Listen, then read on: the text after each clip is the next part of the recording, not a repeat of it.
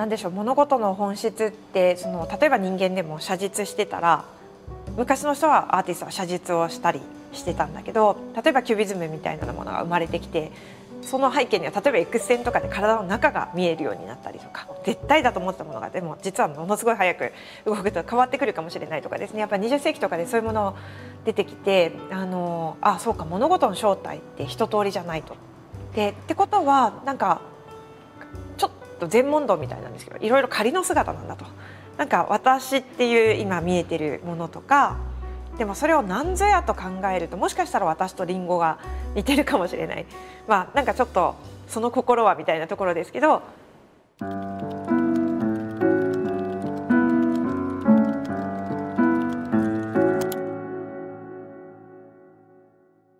私っていう存在とこの手っていう存在は一緒なのか似ているのか違うのか。私と何かあなたみたいなところが似ているのか似ていないのか。なんかそれで本当観点次第であると。でも逆に言うと観点次第で似ていたり似ていなかったりする。だその観点を持つことがすごく大事であのでその観点が持てるってことが実は連想力とか想像力にもつながる。全く違うと思ってたものが実はすごく似てるとか。すごく似てると思い込んでたものが実は全然違うんじゃないかとか、えー、人生の中でもそういうのに気づくところあると思うんですけど数学においては結構それってすごく大事なことでまあその似てるとか同じ同じようなもんだって考えるのをよく同地類とか言ったりするわけなんですけど同じようなクラスにいらいるものですね。でなんかでもその同地類何をもって同じだとか似てるって考えるのかそれの入れ方次第で出来上がる数学学問としての数学の中の分野が変わってきたりするわけです。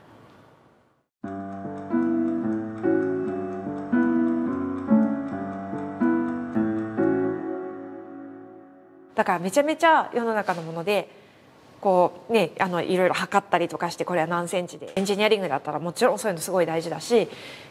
1ミリでももう 0. 何ミリでも間違えると大変だったりする世界もあれば数学の中ではもっともっともう全部ビヨーンって伸びたり縮んだりするかもしれないって思ったりしてなんかこうそうですね全然長さとか角度とか一生懸命考えてた時代がなんか嘘のようにですねこう全くそういうのも無視して全部ゴムでできてると思ってぐにゃぐにゃぐにゃぐにゃ考えようと。でそしたら一体この世の中で何と何が似ていて何と何は違うんだろうとかあの全く違う分野が出てくると。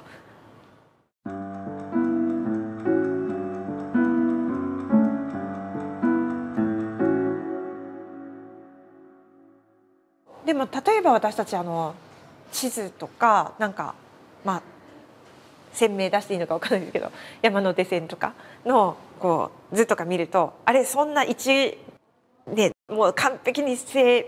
密に地図を切り取ってるわけでは全くなくて大体何がどういうふうにつながってるかとかあこっちの方がでもすごい遠いんだよなとかなんかすごくざっくりあのでもつながり方みたいなものを示している。でこことここではなんかこの線とこの線が、連結しててでここまで行くとそうですねここで乗り換えてこっち側に行けるとかはなんかその関係性だけ見ればいいとだから今自分が興味があるもの何が今大事なのかっていうとこだけを抜き取ってきて見るっていう考え方があると思うんですけどこれ実はそのさっき言った柔らかい世界これをまあトポロジーとか位相幾何学っていうんですけれど位相幾何学トポロジーの考え方なんですよね。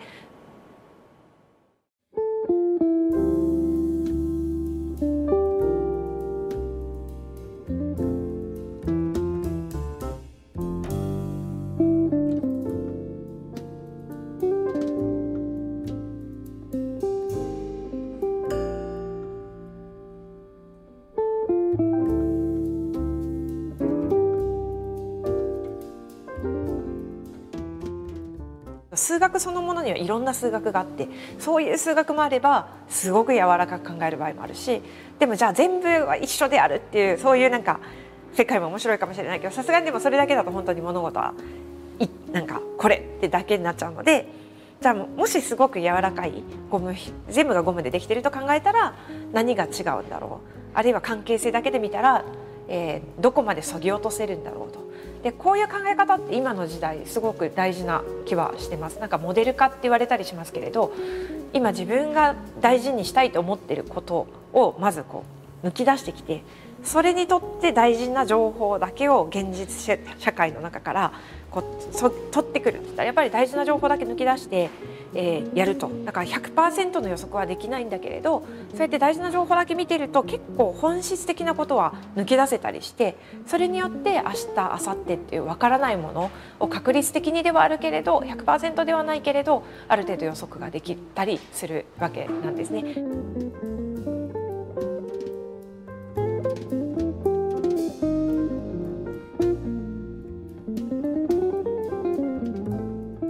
私はリンゴを知ってるつもりになっていてでもなんかそこに見えなかった今まで感じなかった何か関係性を見出すことでああ私とリンゴは似てるかもしれないとか思うわけですね。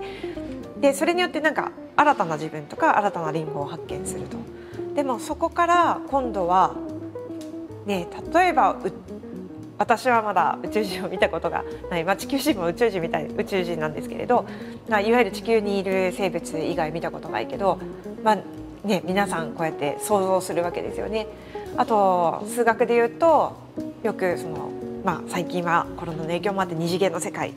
多いですけれど今私はこうやって生きていてここにいて、えー、今このやり取りは二次元でさせていただいてますけれどな3次元のものがあった。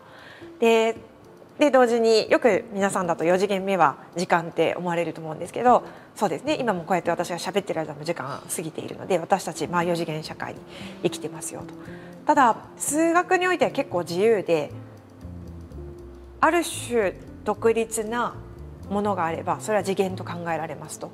例えば色色次元みたいなものを考える人がいたり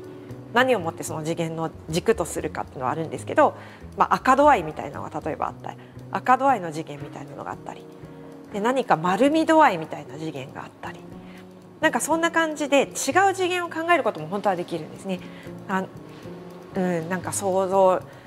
なんかワクワク度合いとかわかんないですけど、えー、今までと独立なものであればそれは新しい次元と考えることができる独立じゃないものも本当は考えたりもできる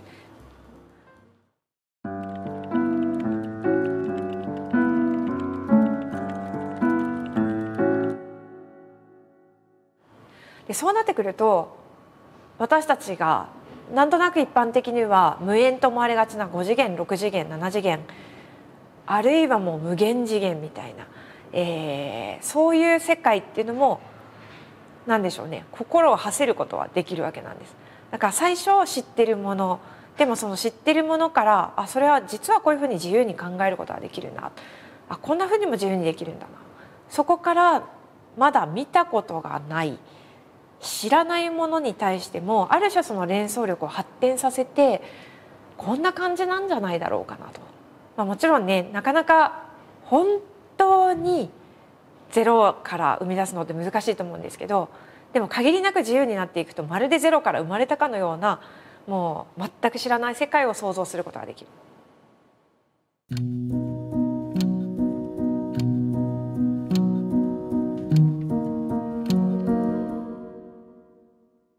これ小説家とか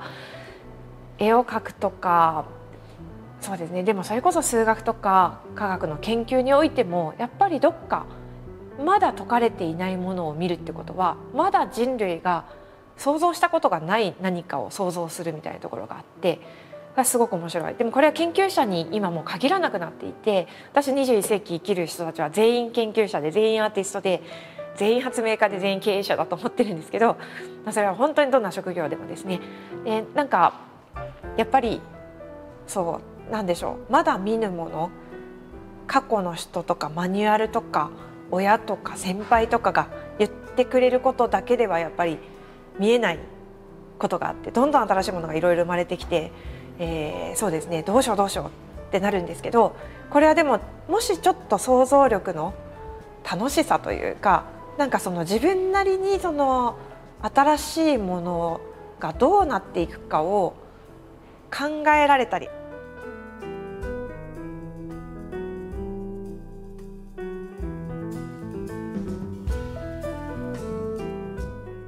あるいはもう一つの想像力やっぱりクリエイト。自分たちなりにじゃあそれを中でどんな価値を自分たちは生み出せるんだろうみたいなことを考える癖というか訓練というかなんかそれも慣れだと私は思っていてなんかそういうものがでもあるとあの最終的にやっぱり21世紀ってすごくワクワクする面白い社会になるだろうなと。で本当にそれを作っていくのがもうまさに私たちなのでなんかそこのイマジネーションとしての想像力とクリエーションとしての想像力っていうものが、えー、なんでしょうワクワクドキドキするものとしてみんなが感じられるようになるといい。でそれの第一歩は実は連想力だと。だから身近なものたちの中に今まで見えてなかった似ているとか。今まで似てると思ってたけどそこに感じなかった違いとか。そういうものが感じられるようになってきてそこで自分を自由に解き放つ癖みたいなものができてくるとでそれが実は数学とか、えーまあ、数学に限らないけどそういうもので育まれてくるとなんかこうゼロから何かをまるで生み出しているような想像力想像力っていうものが出てくるんじゃないかなって思ったりはしています。